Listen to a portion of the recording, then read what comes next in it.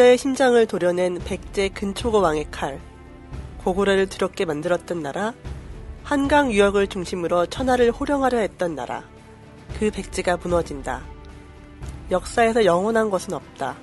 늘 새로운 강자가 탄생한다. 오늘은 교과서 밖으로 나온 한국사의 한 부분을 읽으면서 시작했는데요. 지난 시간 백제의 전성기를 이끈 근초글 왕의 이야기를 했는데 오늘은 고구려의 전성기를 이끈 광개토 대왕과 장수왕의 이야기를 시작하도록 하겠습니다.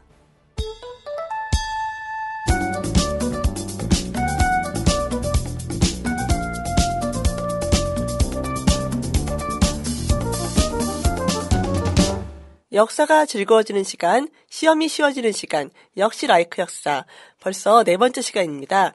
안녕하세요. 교보문고 북뉴스 박수진입니다. 어, 오늘도 함께 이야기 나눠주실 교과서 밖으로 나온 한국사의 저자 박광희 선생님. 안녕하세요. 박광일입니다. 네, 또 답사여행 전문 여행사 여행 이야기 최영록 씨도 모셨습니다. 네, 안녕하세요. 여행 이야기 최영롱입니다. 네, 저희가 지난 시간에 너무 열띠게 얘기를 하다 보니까 시간이 부족한 관계로 백제의 전성기 얘기를 하고 고구려 이야기를 못 나눴어요. 이제 오늘 나누는 건가요? 네. 사실 고구려 전성기 얘기는 저희가 많이 안다고 생각하지만 그렇게 또 막상 또 찾아보면 많이 알지 못하는 얘기가 많아서요. 그래도 아마 그 감각으로 야 멋있었어 그때 정말 대단했어 아마 이런 느낌은 갖고 있을 거예요. 그래서 아마 지난 백제 때는 몰랐던 이야기가 조금 줄을 잃었다면 오늘은 좀 이렇게 크게 뭉뚱그려서 알고 있던 얘기의 내부의 어떤 속속들이 어떤 사연이 있는지 알아보는 그런 관점이 되지 않을까 오늘은 그런 생각이 듭니다. 네. 뭐 고구려의 전성기 하면 다들 떠오르실 것 같아요. 광개토 대왕과 장수왕의 네. 시기. 일단 그 지난번 백제 전성기였던 근초고 왕 이후에 네. 백제와 고구려의 균형추가 언제부터 슬슬 고구려 쪽에 무게가 실리게 됐는지 네. 예. 사실은 이제 그 고구권왕하고 근초고왕의 전쟁에서 참패를 맞았죠, 고구려가. 그런데 그 고구려가 국력 자체가 부족했다고 보기는 어렵습니다. 왜냐하면은 큰 나라였던 중국 쪽, 그 다음에 이제 그 당시는 556국이라고 하는 오랑캐 나라들하고 전쟁을 하는 시기였기 때문에 국력이 분산되어 있었다고 본 거죠. 그런데 이제 고구려가 어, 뜻밖의 강적이었던 백제에게 참패를 하게 되면서 어떻게 보면 이제 국가적인 전략 수정을 하게 됩니다. 그래서 어차피 요동 넘어서 요소로 넘어가는 거는 맞지만 그렇게 넘어가기 위해서라도 배후의 적이라고 할 수 있는 백제를 그냥 둘 수는 없겠다. 그렇다면은 이제 백제 쪽에 조금 더 압박을 가할 수 있는 그런 것들이 필요하다. 이렇게 생각을 했겠죠.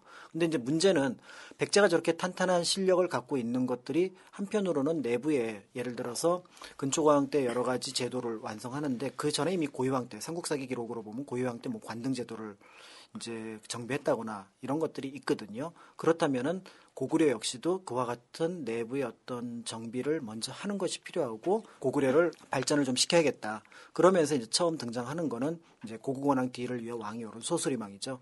그래서 소수리망은 어 시험에 정말 네, 많이 나옵니다. 많이 나와요. 네. 많은 걸 하셨거든요. 네, 아. 그렇죠. 그래서 우리가 보통 이제 고대 국가 우리나라에서 보면은 나라가 나라다운 모습을 갖춘 그런 어떤 시기를 고대라고 얘기를 하거든요. 그런데 그 고대가 고대 국가가 갖춰야 될 모든 것들을 한 번에 보여준 왕이 소수리망입니다. 그래서 일단 사상 통일, 그래서 이제 불교 공인을 하고요. 그 다음에 이제 율령 반포, 그 다음에 이제 그렇다면 인재를 길러야 되잖아요. 태학 설립.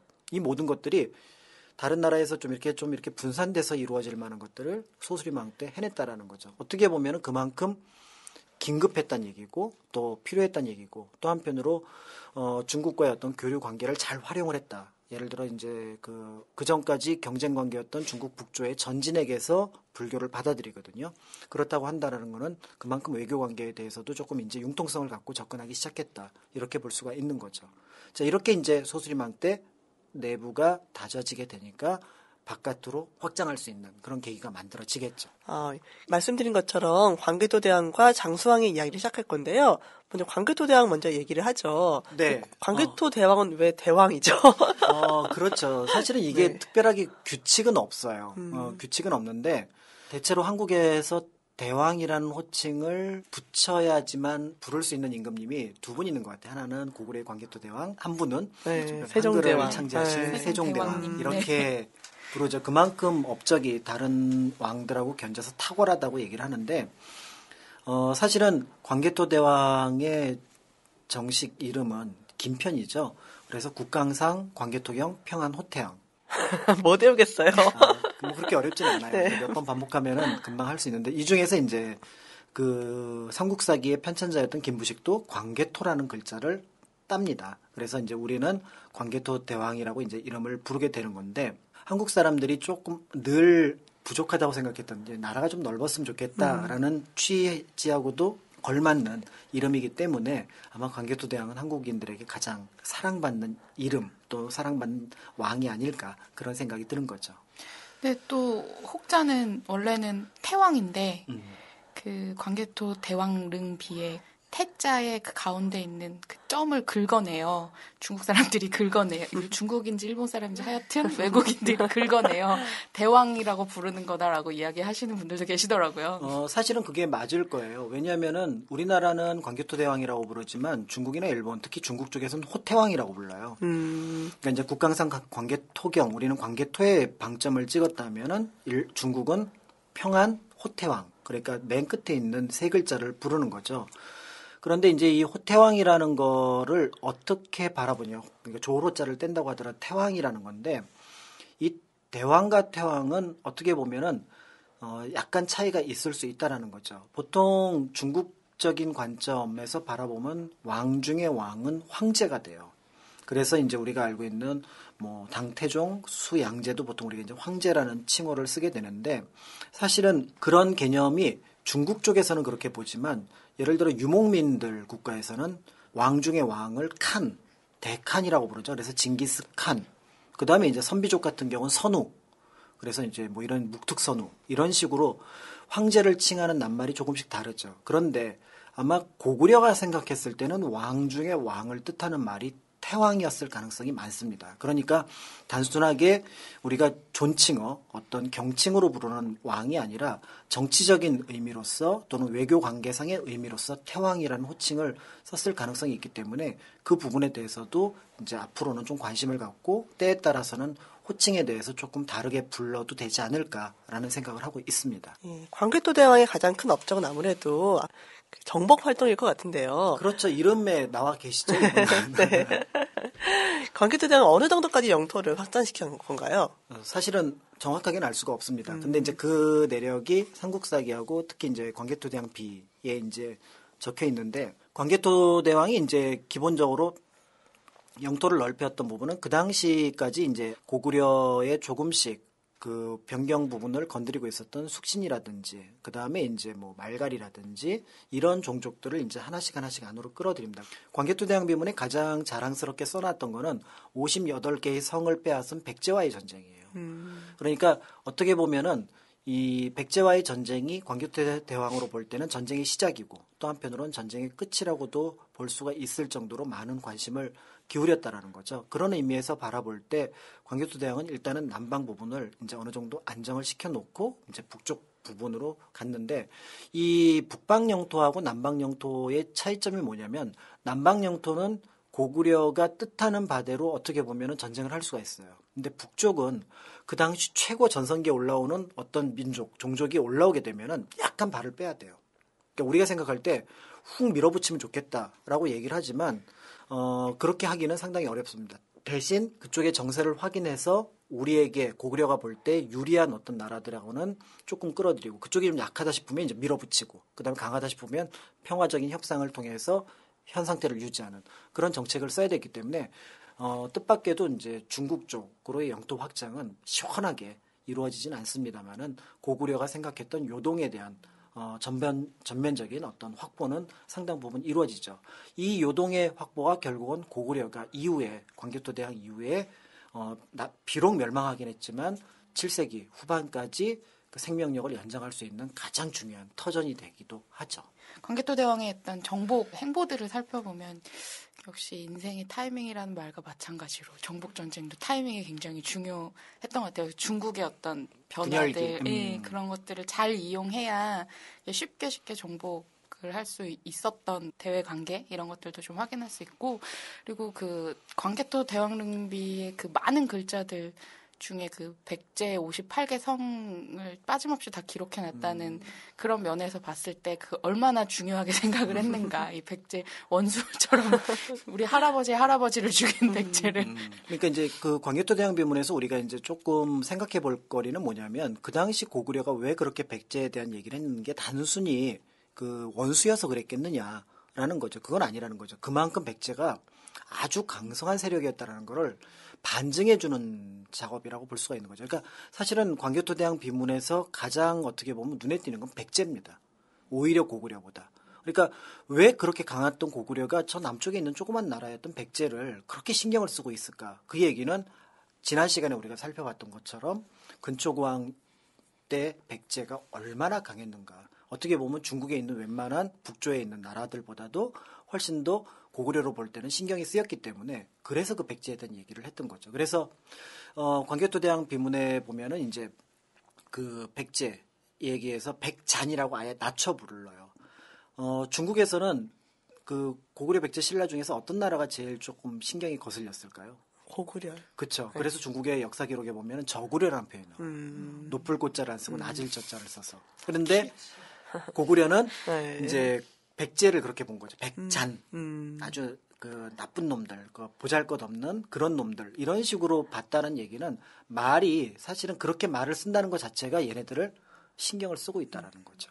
이제 그렇기 때문에 그 당시에 어, 우리가 생각할 때 광개토대왕이 조금 더 이렇게 좀 치고 나가지 하는 생각이 있지만 광개토대왕의 기본적인 목표는 요동 지역만 확보해 놓으면은 그러면 중국과의 전쟁은 거의 문제가 없다. 이 요동선의 요동 지역의 확보라고 하는 부분들은 고구려 영토의 이제 중요한 어떤 핵심 역량이 될 수가 있죠. 그때까지도 백제가 굉장히 고구려의 강력한 라이벌이라고 인식이 됐었나 봐요.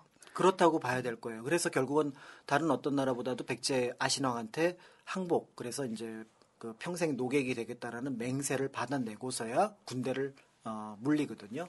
그러고 나니까 이제 고구려는 참 편해요. 그래서 참 편했던 게 결국은 이제 어느 정도 전쟁을 이제 끝내고 싶어 했겠죠. 그래서 어, 제가 책에도 썼긴 했지만 광개토대왕의 전쟁의 목적은 전쟁을 끝내는 겁니다.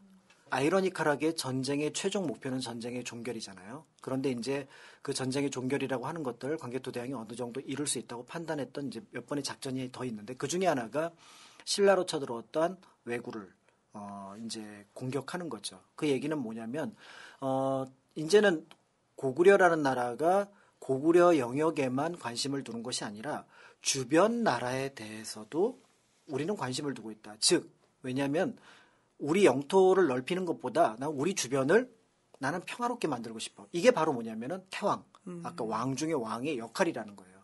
지금은 이제 조금 수그러들었지만 한때 한 80년대, 90년대 미국이 그 서방 세계에서 그런 역할을 하고 싶어 했었잖아요. 그럴 만한 또 실력도 있었고.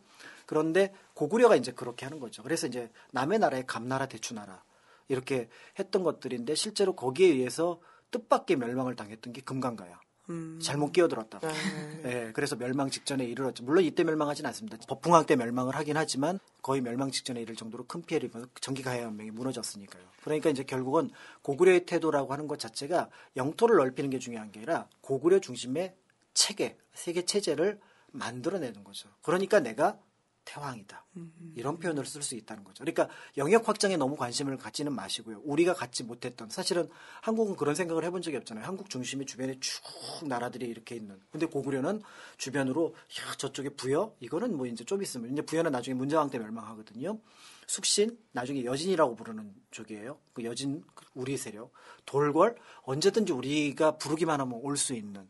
그 다음에 백제 항복했고 그 다음에 신라 거기서 인질 가져오죠. 인질 데려오고 있죠. 거기 근데 말 안 듣는 왜가 있어요. 그걸 아예 이렇게 내갖고 무너뜨렸던 기록이 광개토대왕 비문에 있는 거예요. 그러니까 광개토대왕 비문은 영토의 확장이라는 것이 아니라 고구려의 세계를 확인시켜 주는 거죠. 사실은 이제 광개토대왕 비문이 중요한 거는 1차 사료잖아요. 그 당시 남아 있었던 5세기 초반에 해놨던 4세기, 5세기까지의 어떤 고구려 역사를 적어 놓은 건데 보통 역사책들이 거짓말을 많이 해요. 어, 그래서 이제 지난 시간에 사료 비판에 대한 네. 얘기도 했었는데 그런데 이거는 거의 실제에 관한 내용이고 심지어는 우리는 이렇게 했으면 좋겠다라는 게 아니라 우리는 이러하다라는 것을 보여주는 증명서죠. 그런 면에서 고구려의 전성기는 백제의 전성기나 신라의 전성기하고는 조금 차원이 다른 영역이라고 볼 수가 있습니다. 어떻게 보면 그런 영토의 최대 확장은 사실 광개토 대왕 이 아들이었던 장수왕 때 완성이 된 거로 알고 있는데요. 그렇죠. 보통 이제 영토의 최대 확보는 장수왕 그리고 또 그 다음 왕인 문자왕. 그래서 문자왕 때 이제 사실은 부여까지 멸망시키게 되면서 영역만 놓고 보면 문자왕 때를 최대 판도로 보는 보죠. 그래서 시험에 볼 때 이제 시험에는 그 한 줄 때문에 가끔 이제 등장을 하는데 그런데 이제 이 장수왕 때 우리가 납득 못할 행동을 하나를 해요. 그게 바로 뭐냐면 국내성에서. 네. 평양성으로 천도를 해요. 우리는 이제 제일 속상한 거죠. 아, 왜 만주를 버리고 그러니까 완주를 확장을 하다가 나갔어야 되는데. 어, 왜 밑으로 내려왔을까? 그렇게 얘기를 했는데 이제 지도를 볼 필요가 있어요. 그 당시 고구려 지도를. 어, 국내성은 압록강이라는 통로 외에는 확장 가능성이 상당히 없는 내륙에 깊숙이 들어가 있는 그런 도읍지죠. 그러니까 결국은 확장 가능성을 봐야 되는데 장수왕은 아버지 때에 만들어 놓은 고구려 중심의 체계를 보다 안정화시키고 확장시킬 생각을 했- 했다라는 거죠. 그럴 때 늘 눈에 거슬리는 건 중국이에요. 다행히 그때 중국이 남조는 한족의 나라. 그러니까 우리가 알고 있는 어, 위진 남북조 시대 진나라부터 시작해서 송제, 양, 진 이렇게 이제 확 변해가는 나라였죠. 그다음에 이제 북쪽에는 다섯 오랑캐가 들어와서 16나라를 만들었다고 하는 5, 16국 시대 이렇게 되어 있거든요. 그런데 이 국내성이라는 위치에 있으면 아무래도 북조하고만 연결이 돼요. 실제로 그래서 소수리망 때 불교를 받아들일 때도 북조의 나라였던 전진에게서 불교를 받아들이거든요. 근데 장수왕이 바라볼 때는 북조하고는 가까이 지내는 것도 좋지만 얘네들하고 언제 전쟁을 할지 모르잖아요. 그럼 얘네들을 운용할 수 있는 거는 뭐냐면 남조를 쓸 때 통제를 할 수가 있죠. 그러니까 평양이라는 도읍지에서 바라보면은 남쪽으로 100길, 북쪽으로 100길이 모두 가능하다는 육로를 통해서든 그러면 결국은 장수왕은 남조와 북조를 모두 아우르는 지점에 가서 내가 이 동네를 한번 내 맘대로 한번 해보겠다. 실제로 장수왕이 만들어내는 어떤 그런 세계는 79년 동안 재위 기간에 있으면서 적절하게 남조와 북조를 활용을 하거든요. 그러니까 이제 그런 것들이 있었기 때문에 우리가 고구려만 놓고 보고 또 때에 따라서는 한민족의 나라로서 고구려 백제 신라만 놓고 보면은 고구려의 천도가 조금 못마땅하지만 고구려가 바라볼 때는 세계는 어차피 내가 중심인데 내가 내 손으로 휘두르고 싶으면은 여기가 제일 좋아 하면서 같은 게 평양이다 이렇게 보면 되는 거죠. 하더나 장수왕은 참 올해도 재위를 하셨군요. 79년이나 왕위에 계셨으면은. 문제가 있기는 하죠. 아들이 기록은 없지만 더 일찍 죽었겠죠. 그래서 손자가 왕위를 이은 게 이제 문자 네. 문자명 왕이라고 하는 왕이죠. 그 아들 이름은 들으면은 조금 이상하긴 해요. 그 조다라고 이름이 되어 있어요. 조다요? 네. 그래서 아마 우리가 네. 표현하는 그게 거기서 왔을 거라고 얘기하는 분들도 있긴 해요. 조금 이렇게 낮춰 부르는 음, 하필 이름이 그러셔가지고 어. 그 이름에서 아버지- 그렇게 왔으니까. 아. 아버지보다 오래 살지도 못했는데 아버지보다 오래 살기 힘들죠. 만약에 79살이면 그 당시만 해도 네. 일반적으로는 네, 그 그렇죠. 살 수가 없는 나이인데. 그런 조선 시대만 해도 한 40세 평균 네. 40세 정도였는데 조선시대 왕 중에서 가장 오래 살았던 영조 임금이 82세밖에 안 돼요. 그러니까 네. 만약에 조다가 살았다고 하더라도 3년 더 사는 거예요. 아이고. 그러니까 왕을 하기는 음. 어려웠겠죠. 오랫동안 재위에 있으니까 그 국내를 안정시키거나 자기 정책을 밀고 나갔을 때는 더 유리했을 것 같긴 하네요. 그렇죠. 그러니까 어떻게 보면 오래 살 줄 알았었는지 그 정책을 네. 그 추진하는데 상당한 어떻게 보면 여유를 갖고 있다 음. 그럴까요? 그러니까 결국은 이제 그 재위 14년에 그 평양성으로 도읍을 옮겼는데 도읍을 옮겼다라는 얘기는 여러 가지 목표가 있었다라는 얘기야. 아까 얘기 드렸던 국제 정세만 놓고 보면 그렇지만 국내 정세에서도 국내성 중심의 귀족들을 무력화시키고 평양성으로 오게 되면 신귀족들이 생기잖아요. 결국은 친정 체제를 강화시키겠다는 얘기죠. 그러니까 그렇게 이제 어느 정도 강화가 되니까 원래 이제 광개토대왕 때 아신왕을 항복을 받아냈지만 백제가 멸망한 상황은 아니죠. 백제가 그냥 왕만 항복하고 그 성이나 이런 것들은 온전하게 남아 있겠죠. 일부 뭐 영토는 빼앗겼겠지만 그런데 어, 장수왕이 그거를 그 다음에 바로 밀어붙인 백제가 멸망에 이를 거예요. 그렇지만 굳이 서두르지 않습니다. 왜냐면 이제 자신감이 있으니까. 그런데 이제 백제 쪽에서 첩보가 들어오고 또 백제 쪽에서 이제 간, 아니, 고구려 쪽에서 간첩도 보내기도 했고 하면서 백제 쪽의 정세를 파악합니다. 그랬더니 이제 일정하게 이제 그 야심을 품고 야 우리 고구려에 큰 피해를 입었지만 우리도 한번 부흥의 날이 있지 않을까 했던 왕이 계로왕이거든요. 네. 그 계로왕이 이제 움직이는 걸 보고 아 더 이상 놔두면 안 되겠다 싶어서 결국은 한 번 더 내려오게 되는 거죠. 그러면서 결국은 백제가 어떻게 보면은 제가 보기에는 멸망이라는 표현을 써도 적절할 거라고 생각되는데 1차로 멸망을 합니다. 음. 그게 이제 한성 백제가 함락된 시기라고 볼 수가 있는 거고 이때 이제 계로왕은 그냥 아신왕처럼 항복에 그치는 것이 아니라 목이 잘려서 죽게 되는 거죠. 그렇게 되면 결국 사실은 그렇죠. 도읍지가 네. 함락되고 그 왕이 왕이 목이 잘렸다. 우리가 알고 있는 일반적인 멸망의 공, 공식입니다. 음. 그런데 이제 백제는 어, 뜻밖의 부활에 성공을 하게 되죠. 부활에 성공했던 여러 가지 이유 중에 하나가 뭐냐면 신라의 발빠른 움직임이에요. 그때 이제 바로 고구려의 침략이 있을 때 백제가 빠르게 신라에게 원군을 요청을 합니다. 그랬더니 신라 역시도 가만히 보니까 백제의 멸망은 자신에게도 위험하잖아요. 순망치 아니라는. 표현을 쓰는 예. 것처럼. 그래서 빠르게 원군이 오는 걸 보고 고구려도 거기서 멈춥니다. 더 나아가진 않고. 그러니까 나머지 이제 문주나 이런 왕족이 옮겨가서 웅진으로 가서 여기서 한번 버텨보자. 그러니까 금강이라는 방어선이 하나 있으니까 버텨보자 해가지고 웅진 도읍기가 시작이 되면서 멸망에서 다시 부활하는 게 웅진 시기의 백제라고 볼 수가 있습니다. 네, 그래서 장수왕 시기에 결국 고구려가 한강을 차지하면서 그렇죠. 점점 더 그 아래쪽으로 내려오게 된 거군요. 그렇죠. 그래서 이제 그 장수왕 때 그 치적을 그 보여주는 비석이 충주에서 발견된 충주 고구려. 고구려 비예요. 음, 한반도 안에선 유일하게 발견된 고구려 비석이기도 한데 이 고구려 비가 그 당시 이제 그 고구려가 어땠는지를 또 광개토 대왕하고 연결해서 살펴볼 수가 있죠. 대표로 들 수 있는 게 혹시 동이라는 표현 들어보셔요? 동쪽 오랑캐. 네네. 어디서 들어보셨나요? 동이죠. 글쎄요. 어디서 들어봤는데. 보통 이제 중국 사람들이 우리나라를 표현할 때 동이 네네. 이렇게 동이의 나라 네. 이렇게 네. 표현을 해요. 그러니까 걔네들이 이제 자기네가 중하고 음. 어, 동서남북에 오랑캐를 설정을 해요. 그래서 어, 북쪽에는 적, 서쪽에는 융, 남쪽에는 만, 만. 그 다음에 동쪽엔 이. 그래서 이제 뭐 서융, 그 다음에 동이, 남만, 북적 이런 표현을 쓰거든요. 그런데 이제 고구려가 뜻밖의 신라를 보고 동이라고 써요. 음, 니네들은 동쪽에 오랑캐야. 이렇게 표현을 씁니다. 그리고 그 왕 보고 왕이라고도 안 해요. 매금. 아마 이사금이나 마리간하고 연결되는 낱말일 것 같은데 아주 낮춰 부르는 말은 분명하죠. 니네들은 그냥 매금이고 동이야. 그러니까 이거는 뭐냐면 황제인 거예요. 어. 음, 네, 황제인 겁니다. 그래서 어, 광교토 태왕의 그 태왕 개념이 그대로 다시 적용이 돼서 니네들은 우리하고는 연결이 안 돼. 실제로 고구려 병력이 신라 도읍지에 머물렀던 흔적도 있죠. 호우총에 보면은 거기 이제 그건 광개토 대왕 때 기사겠지만 광개토라는 표현이 들어- 글자가 들어가 있는 그 그릇이 하나 발견이 돼요. 그러니까 결국은 그때 이제 고구려는 뭐 이렇게 쭉 동아시아 전체를 마치 자신의 어떤 그 방어할 수 있는 어떤 배후 세력으로 만들어 놓고 운영했던 그런 큰 나라라고 생각을 했던 것 같습니다.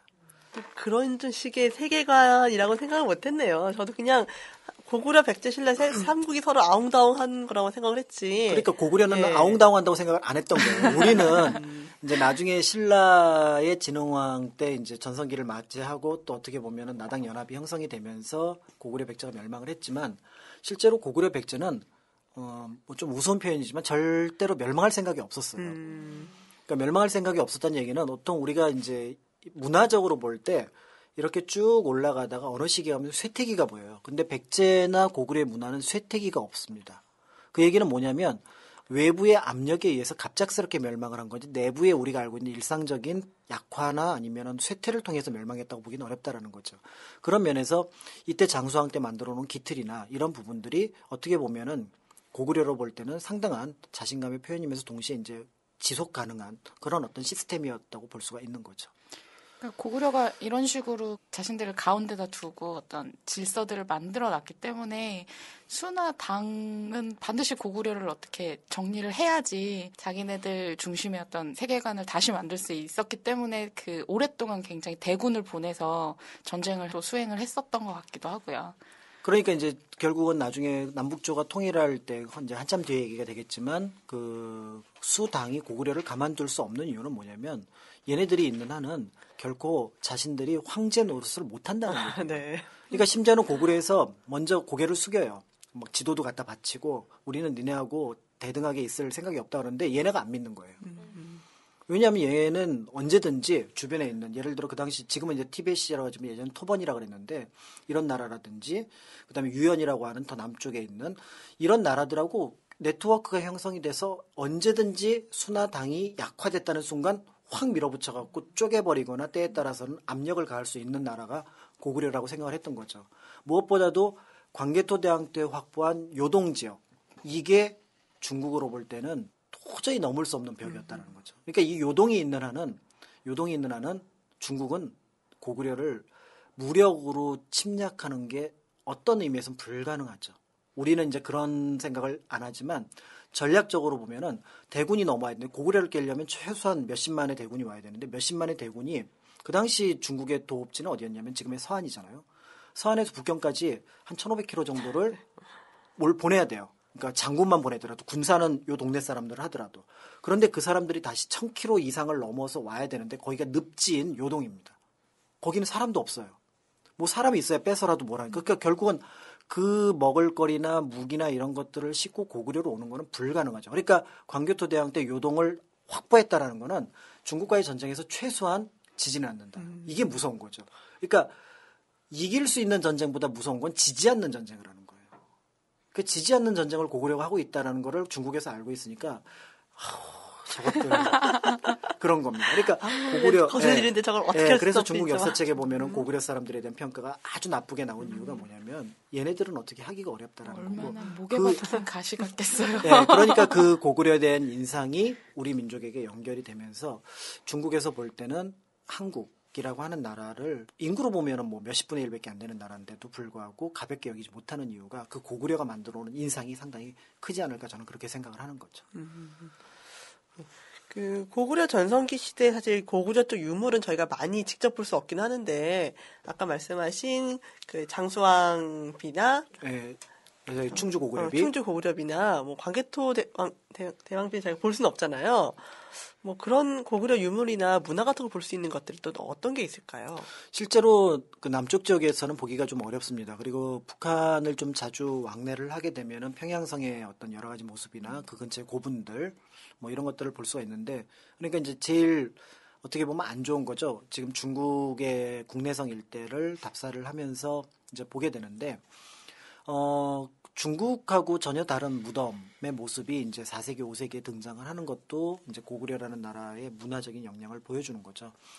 어, 그런 면에서 바라볼 때 한편으로는 지금 현재 분단되어 있는 상황이 조금은 안타깝다는 생각이 듭니다. 그래서 만약에 이제 통일이 된다면은 평양에서부터 압록강에 이르는 고구려 유적만 확보를 하면 중국이 절대로 고구려 갖고 뭐라고 할 수는 없을 것 같아요. 그런데 이제 우리가 지금 볼 수 있는 게 거의 없고 그나마 이제 좀 우리 주변 어, 제가 이제 서울에 있으니까 서울 주변에서 가까이 볼 수 있는 건 아까 충주 고구려비도 있지만 아차산성 정도를 꼽을 수가 있을 것 같아요.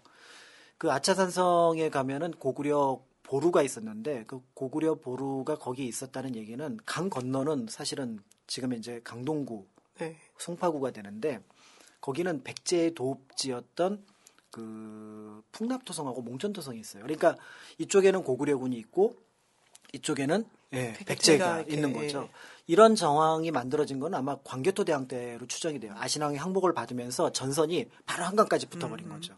그러니까 늘 여기서 장수왕은 이러고 고구려 군대는 이러고 내려다본 거예요. 쟤네들을 어, 쟤네들을 백제. 어떻게 할까 이러면서 이제 그 보루를 쌓은 거죠. 다만 이제 고구려로 볼 때는 변방이니까 대규모로 성곽은 쌓지 못해서 작은 규모의 성이라고 할 수 있는 보루를 쌓았는데 고구려 흔적이 많이 남아 있어요. 예를 들어 온돌의 흔적이라든지 이런 것들이 남아 있어서 이러다가 이제 드디어 시간이 됐다 하고 넘어가서 이제 계로왕의 항복을 받아내고 실제로 계로왕의 목이 잘린 것도 그 아차산성, 그 아차산 있는 보루 일대로 생각을 하고 있죠. 저거 제가 그 아차산 보루에 올라갔다 왔는데 정말 풍납토성 안에 있는 사람들의 숫자까지 셀 수 있겠더라고요. 어. 육안으로 지금도 육안으로 몽천토성하고 풍납토성이 아주 훤히 보여요. 그러니까 거기까지 그 고구려 군사가 왔으면 아마 개로왕이 빨리 짐 싸서 이사를 가는 게 훨씬 더 좋지 않았을까 싶을 정도로 너무 그 시야가 잘 확보가 되어 있고 그러니까 거기 백제가 어떤 군사적인 활동을 하려면 정말 고구려의 눈을 피하기가 쉽지가 않았을 거라는 생각이 들더라고요. 그러니까 이제 그만큼 아신왕 이후에 백제로서는 상당히 어려움을 겪었을 걸로 생각이 돼요. 그래서 어 그 삼국사기나 이런 데 보면 계로왕이 예를 들어 이제 뭐 바둑을 두면서 이제 그 도림이라는 그 첩자연 고구려 첩자로 왔던 승려한테 이제 정보를 다 누설한다거나 아니면은 뭐 도미부인 얘기처럼 좀 이렇게 폭군의 기질을 보인다거나 이런 얘기를 한다고 하는데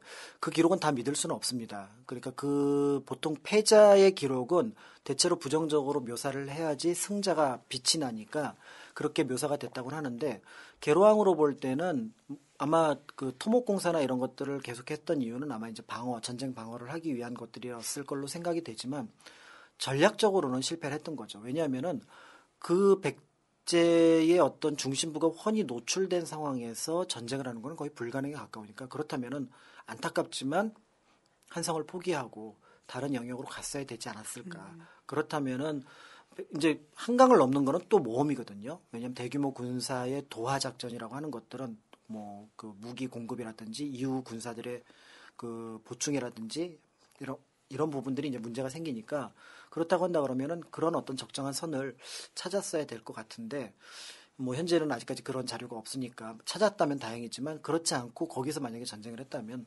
상당히 불리한 전쟁을 할 수밖에 없었겠다 이렇게 보는 거죠.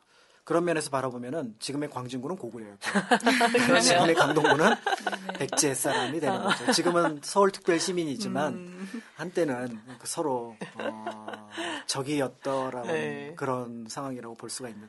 그러니까 이게 시간을 한 1500년 전으로 이렇게 훌쩍 올려 보면은 조금 독특한 상상을 하게 돼요. 그러니까 영화 같은 데 보면은 자기는 혼자 서 있을 때 이제 시간이 거슬러 올라가는 환경 네. 변화가 있잖아요. 그런 변화가 있다고 할 때 어, 그 지역에 우리가 서 있다고 한다면, 그러니까 아차산 그 아차산 고구려 보루에 서 있다고 한다 그러면은 참 묘한 느낌. 막내 네. 뒤로는 고구려 군사들이 계속 왔다 갔다 하고 저 앞으로는 그 백제 사람들이 이제 네. 막 긴장하고 음. 이렇게 그 하고 있는 그런 모습들을 생각을 하면은 그게 이제 답사의 매력이긴 한데 네. 그런 느낌을 가질 수 있는 곳이 이제 아차산 보루가 되겠죠. 아, 네. 어, 광개토 대왕과 장수왕 얘기가 사실 많은 분들이 알고 있다 생각하시는데 그래서 더 시험에도 많이 나올 것 같거든요. 네, 시험에 많이 나오는 내용들은 이제 뭐 예를 들면 이제 지도를 주고 광개토 대왕이 뭐 정복한 영토가 아닌 것은 뭐 이런 거 고르는 문제라던가 아니면 장수왕이 이제 그 국내성에서 평양성으로 수도를 옮기면서 이제 남진 정책을 펼친 것에 대한 그런 이야기들이 많이 나오고요. 그리고 이제 유물로 보면 저희 선생님이 말씀하셨던 호우총에서 나왔던 그릇 신라의 어떤 고구려가 영향력을 강력하게 끼쳤을 때 증거품이 되니까 그런 그 유물들이 많이 나오고 사실 우리나라에서는 고구려 유물이 많지 않으니까 이제 충주 고구려비 문제가 많이 나옵니다. 그래서 이런 유물들을 보고 뭐 이 시기에 고구려의 특징으로 맞지 않는 것을 뭐 이런 문제들이 많이 나오죠. 어, 예. 저희가 장장 뭐 2회에 걸쳐서 백제와 고글의 전성기 얘기를 쭉 나눠봤는데요. 아무래도 전성기 얘기는 이렇게 재미가 있네요. 신이 나고. 그렇죠. 예. 아무래도 조금 우리가 조금 부족한 것들이 있는 것들을 백제 또는 고구려가 이렇게 채워준다는 느낌이 드니까 조금 신이 나는 것도 있고 또 한편으로는 우리가 좀 어떻게 보면은 이렇게 좀 그 닫혀 있는 눈으로 우리 세계를 바라보잖아요. 야, 우리는 이 정도면 다 했어. 이런 생각을 하는데 백제의 시각은 바다 건너로 가 있었고 고구려는 천하의 중심이라는 생각을 가지고 있었는데 우리는 언제 한번 그런 생각을 해봤나 지금 우리가 살면서 물론 지금의 일상이 상당히 바쁘고 힘이 들고 또 내 그 주변에 있는 것들을 챙겨야 될 게 많긴 하지만 눈을 들어서 한번 바라볼 수 있는 그런 어떤 시간을 만들어주는 게 어, 백제 그리고 오늘 얘기했던 고구려의 전성기가 아닐까 그런 생각이 들죠. 저희가 늘 요새 얘기하는 게 샌드위치로 해서 뭐 중국과 일본 사이에서 샌드위치라고 얘기를 하는데 네. 그게 하나 정말 우리를 중심으로 놓고 그렇죠. 세계관을 가질 수 있다는 것도 오늘 처음 생각을 하게 됐고요. 그럼요. 우리는 뜻밖의 잘난 민족이에요. 네.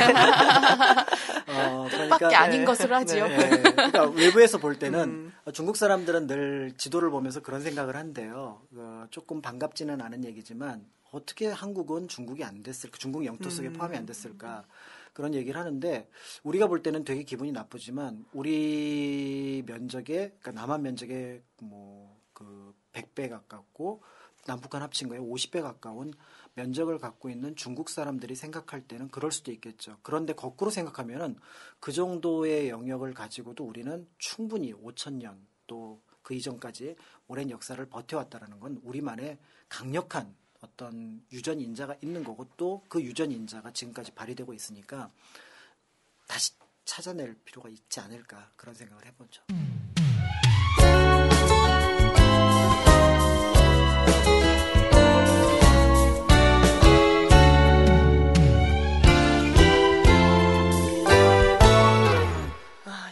오늘도 막 되게 즐겁고 되게 깊은 얘기 많이 나눴는데요. 다음 시간에는 백제 고구려 이어서 7세기 전성기를 맞은 신라 이야기를 나눠보도록 하겠습니다.